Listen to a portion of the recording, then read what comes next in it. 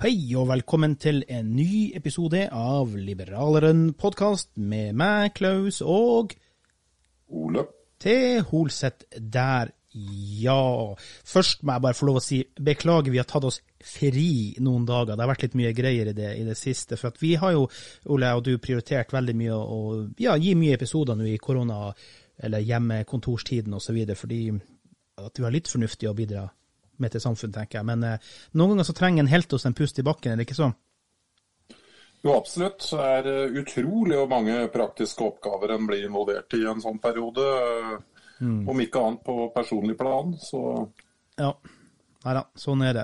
Um, kjære lyttere, hvis du vil nå oss, gjør du det fortsatt på liberalaften.gmail.com, og du finner oss på alle mulige sosiale medier, stort sett da. Ole, nå skal du få høre her. Her kommer et hint til første sak. Er du klar? ja, jeg er klar. Jeg er alltid spent. De Det vet kanskje ikke lytterne, men det er ikke alltid jeg er forberedt på hva Klaus kommer med, så Egentlig nesten aldri. Jeg er en sånn, sånn en, jeg er som Lucky Luke, jeg skyter raskere enn skyggen min klarer å følge med på. ja. Her kommer. Mykje lys og mykje varme, tru og håp, det kan du få med. Mange tårer, tunge stunder, er jeg redd for at det blir. Nei, vakker stemme, takk skal du ha. Men eh, Ole, hva er det jeg sikter til her? Uh, Mykje lys og mykje varme må du tenke på her. Jeg er faktisk helt uh... Er du blank? Det er jo, det er jo geniet Donald Trump som nå skal kurere, kurere koronaen med lys og varme.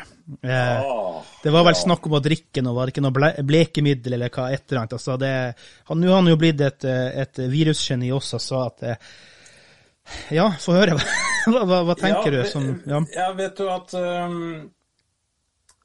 Jeg har kommet i noen diskusjoner der sånn med noen som er uh, Joe Biden-fans. Mm. Og så sier jeg jo det at uh, mannen er jo uh, har helt klare demensutfordringer. Mm. Eh, og så får jeg slått tilbake at eh, Donald Trump han sier og gjør så mye rart at eh, det skulle jo ikke forundre om det er et eller annet eh, som pågår der òg. Det tror jeg ikke. Jeg tror det er mer narsissismen og og bare at det, han mener at han er et geni, rett og slett. Jeg tror det er bare det som spiller inn der, faktisk. Ja, men Dette er jo et lysende eksempel på eh, Altså, Det er jo så irrasjonelt som det omtrent går an. Eh, men, men det som i valget av to onder, da, så tenker jeg litt sånn at uh, ting kan faktisk bli verre, i den forstand at eh, han må jo ha et veldig godt apparat rundt seg, og det har det jo vært veldig mye lekkasjer rundt òg. At eh, veldig mange av hans rådgivere og og staben rundt visepresident og sånt nå gjør veldig mye for å legge lokk på og uh, ja, rett og slett tone ned og få hele administrasjonen til å fungere, selv om han på toppen har noen merkelige innfall. Og, eh, men, og, og eh, før korona så fungerte jo USA. Ja. Økonomien gikk oppover. og Å bytte ut det med en eh, eventuelt annen dement, det jeg ikke om jeg vil ta sjansen på. Nei. Si, jeg tror vel ikke Trump er dement, men at, at han har utrolig mye rart for seg, det Ja, det er behøver jeg ikke si engang. Apropos eh, folk som har mye rart for seg, f.eks. undertegnede her, da, med min vakre stemme, og hvis ikke du klarte å gjenkjenne det, så var det altså Åge Aleksandersen sin sang mye ly eller Lys og varme, heter den vel egentlig. Det jeg prøvde å synge. Det var kanskje derfor Ole ble satt ut, for han skjønte ikke hva jeg sang. Eh, men vi får nå se hvordan det går der. Vi kan få snakke mer om det etter hvert. da. Men eh, Ole, jeg må få høre, for jeg er litt nysgjerrig. for at Du har jo skrevet noen artikler i det siste, og det har vært noe som vi skal ta opp her. Men du har, først har du fått en eh, telefon i dag, og så har du vel fått en mail, og der har jeg litt kommentarer. Men få høre. Take us through it. Det som rett og slett eh, skjer, da, det er det at jeg skriver en artikkel i går på forespørsel i liberaleren.no. Og eh, der eh, fremfører jeg vel egentlig de samme argumentene som jeg har gjort eh, helt fra starten av siden denne koronakrisen startet. Mm. Og det er hvorfor hadde vi ikke et lager av smittevernutstyr slik man kanskje skulle tro at noen som arbeider heltid med beredskap, hadde klart å tenke ut at vi skulle ha. Eh, og på basis eh, av egentlig en del sånne Facebook-kommentarer rundt det, så skriver jeg denne kommentaren som heter 'De dummeste bøndene får de største potetene'. Og den handler om eh, Ingvild eh, Smines Tybring-Gjedde. Mm. gift med stortingsrepresentant Christian Tybring-Gjedde. Og det var Christian Tybring-Gjedde som ringte meg her for eh, en time siden. Ja. Eh, Og han var eh, fryktelig sint fordi han mente at eh, det var, kunne ikke være tvil om at hun var egnet for den stillingen. For hun hadde en ja, veldig beskriv. god CV. Det må du si. Hva, hvilken stilling snakker vi om her?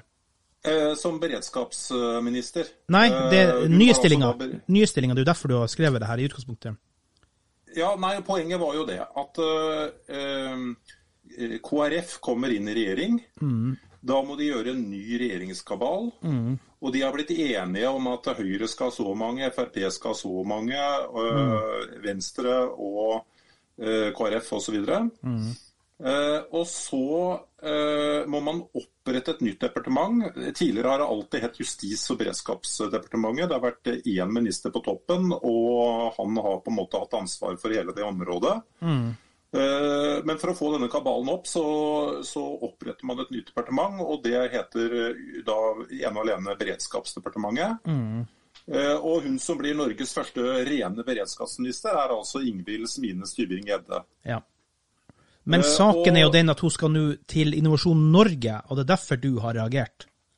Eh, ja, jeg har vel for så vidt reagert eh, på hennes eh, eh, manglende oppfølging i det departementet, helt uavhengig av denne saken. Fordi det DN da gjør, eh, det er at de avslører at når hun da kommer tilbake til den stillingen som hun eh, som hun hadde hatt før eh, hun gikk inn i politikken, I Innovasjon. Eh, så uh, fins ikke den stillingen lenger. Eh, de oppretter en helt ny stilling. Eh, de gir henne høyere lønn. Og de gir henne ansvar å jobbe mot det departementet hvor hun jobbet tidligere.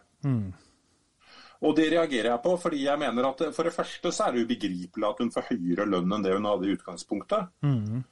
For det andre, men her blir det juridisk teknisk, altså hvis jeg gir en ansatt um, permisjon for å gå inn i politikken, det er rett og rimelig at vi har et sånt system, for hvis ikke ville ikke noen gått inn i politikken.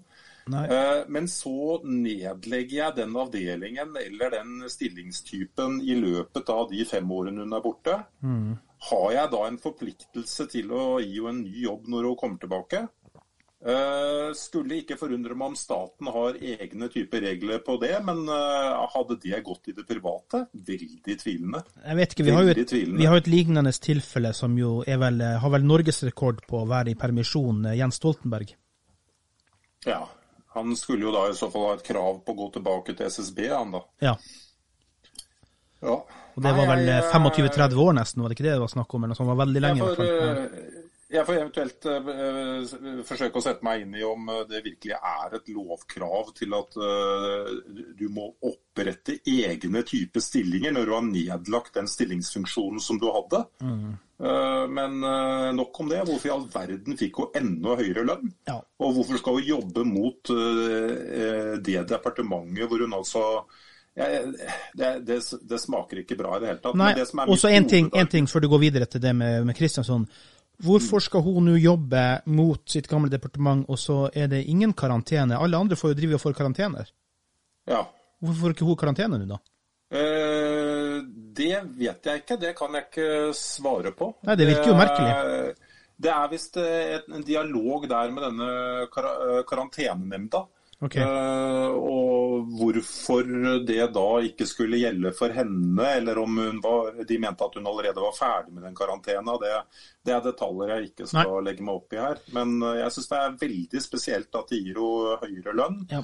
Jeg, jeg syns det er veldig spesielt at uh, uh, jeg, jeg føler det som om en, en, en eh, ving av staten eh, premierer en person for å ha gjort en dårlig jobb Ja. ved å liksom lage en sånn spesialopprettet eh, det er, det er en samrøre og det er en sånn Mm. vi passer på hverandre-holdning eh, i staten som er eh, Ja, vi som står utenfor disse systemene,